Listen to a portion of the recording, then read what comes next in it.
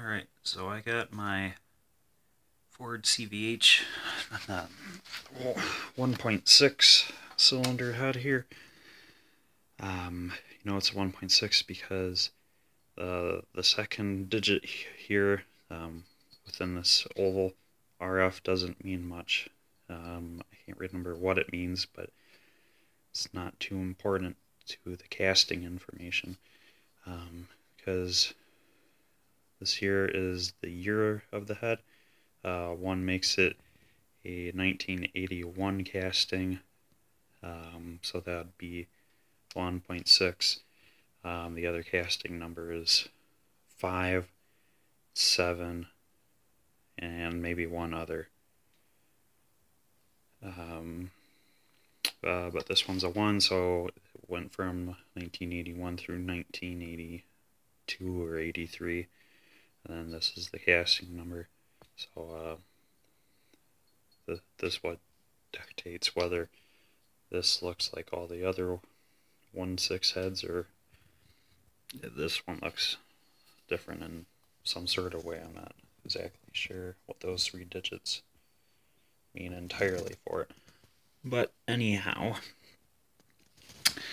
um so this is where I'm at with it right now I do have the cam for it, um, the cam pulley, all the rockers, all the valves, and then all the lifters for it. Um, this was a stock head.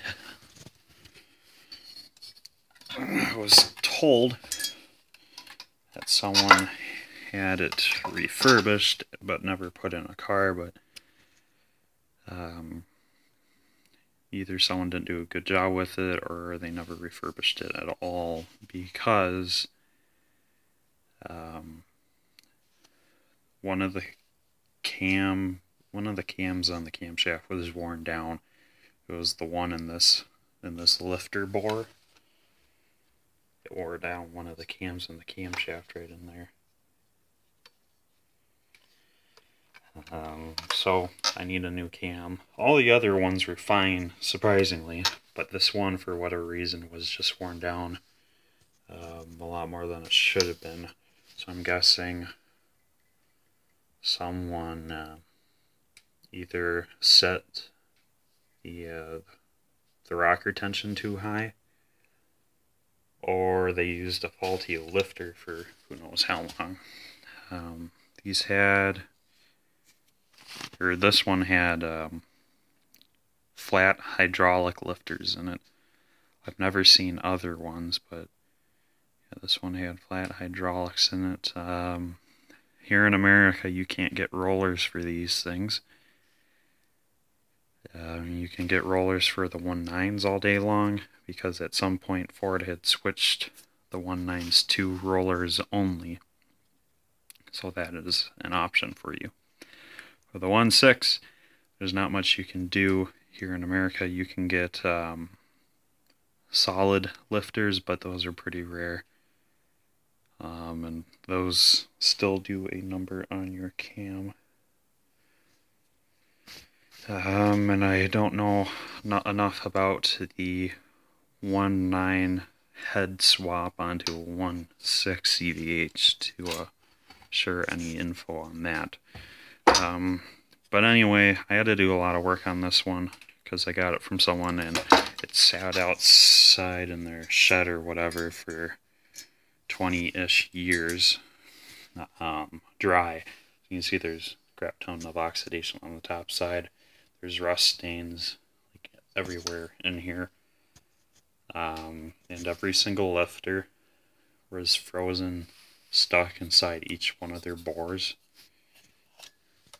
can see in each of them, they all got some little bit of rust on them. And because they were all stuck, I couldn't turn the camshaft. And with them all being stuck, there was no way I could get the camshaft out without getting the lifters out. I'll have a different video on how I did that later, because I want to have my lifters and my cam around to show you how I did that. Um, removing the valves and the valve springs and valve spring retainers were all very hard too. Um, because my I only I, I don't have the the special Ford tool that screws into the place of these rocker studs. You're replacing the rocker. That pretty much is, uh, just compresses the spring simply by tightening this nut. I didn't have that special tool, so I had to use a normal uh, valve spring compressor for automobiles. And yeah, um, it didn't really like fitting around in this head, but um, I did find a trick with it to make it work on every single one. Um, but again, I'll have another video on that. I want to have the tool with me and my valves in to uh, explain the process. So look forward to those. Um, so what else did I do? Okay, well, I lapped my valves. So my valves are lapped and ready to go. I cleaned off the combustion chambers pretty good. It's still, you can see there's still some black on here. Um, I still gotta go in there with a lacquer thinner carb clean something, wipe them down. That's how I got them as clean as they are. So far, it was just uh, a bit of a lacquer thinner. Um, all my valves are in good shape. All my seats are in great shape. Um, my, my lifters all need to be replaced because the only way to pull them out was to disassemble the insides of them while um, their casting were inside the bore of the head. So I could put a puller in there and yank them out one at a time. Um, but anyhow, um, I also uh, ported all the intake ports. Um, I was going to do the exhaust side,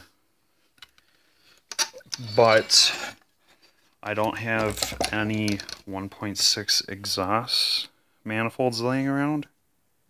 Because I, I, got a 1.9 header um, that I could put up to put up to this, which is like really big.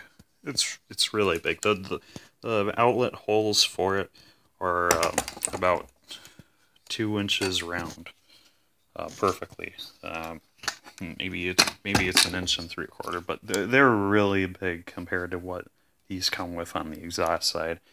Um, but they're round, uh, whereas the factory exhaust manifolds for this are these weird kind of rounded square shapes.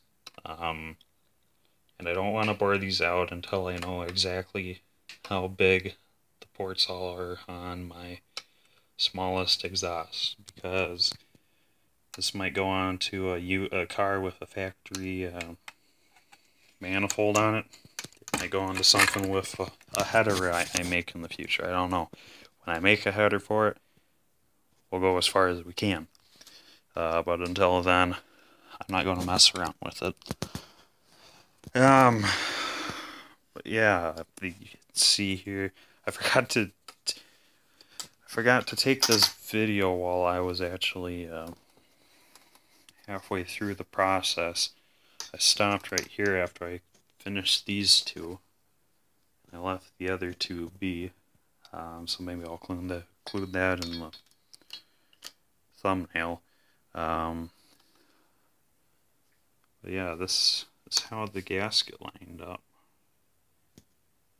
So you can see that um, I got the ports pretty tight to the gasket. I guess with this one I, I went a tad bit over. This one I went a tad under. That one looks near perfect. That one's a tad under, so yeah, maybe I'll go through them again and uh, clean them up a little, even even better. But that's a lot bigger than what they were. Um, I'll have a video on the intake manifold for this because I'll be porting that as well. Um, and after I ported it, I took my die grinder to it uh, with those kind of like um, Scotch-Brite uh, disc on them. Grind, grind, small, you know, grinder wheels. I just went over all of this evenly, you know, just one pass at a time around each thing. You don't want to sit too long or you'll start burning through it and grinding too hard. Um, so I went around all the gasket mating surfaces, get nice and smooth and shiny like that. Um, this I'm going to block off. I switch all my EXPs to um, electric pump. Um, so because all this does is just wear down the, the pump lobe on your camshaft and then you stop pumping fuel. Um, then you have who knows what kind of issues. Uh, cleaned out the mating surface there using the die grinder too. I did the head gasket mating surface. I also did the exhaust manifold mating surfaces.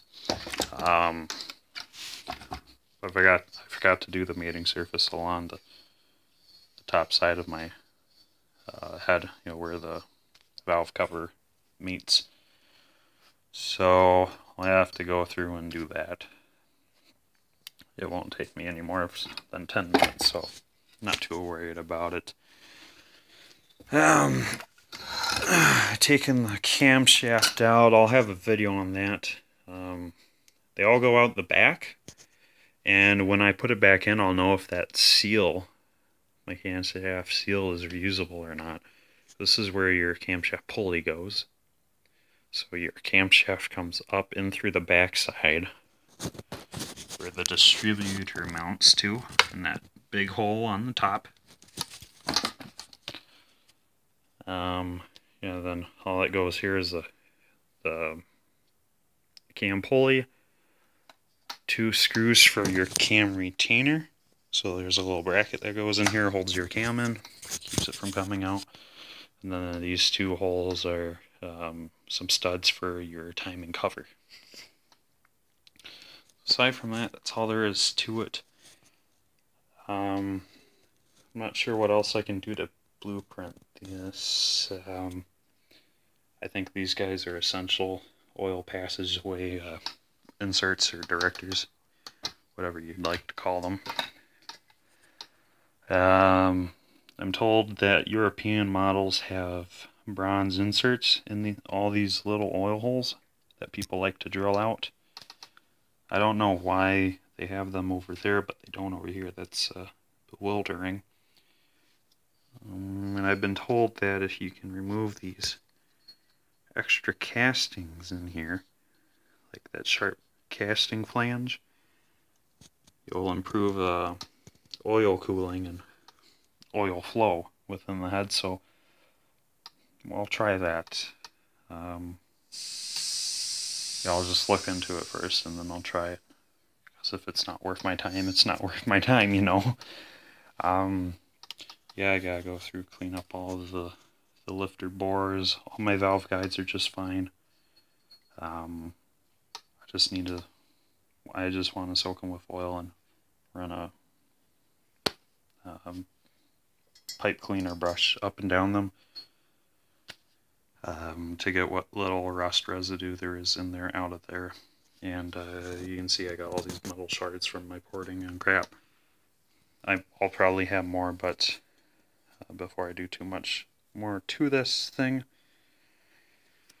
I need to wash it out, blow it out, get everything out of there. Because all it takes is one shard to ruin a camshaft. All it takes is one shard to ruin a valve. Um, not seal, uh, valve guide. Um, if you got enough of those going down your cylinder, you will ruin the uh, piston and or rings and or bore. So that's about all we're doing now. Um, I'm also currently working on a 1.9 head, uh, another American head, but uh, a 1.9 head, real similar to this, but it's a uh, C CFI, I think is what they call it. CF CFI head.